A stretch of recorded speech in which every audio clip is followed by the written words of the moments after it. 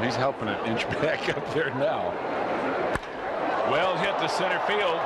Devon White going back. Gone! A two-run home run. And he can still hit anybody's fastball. An instantaneous two to nothing Seattle lead.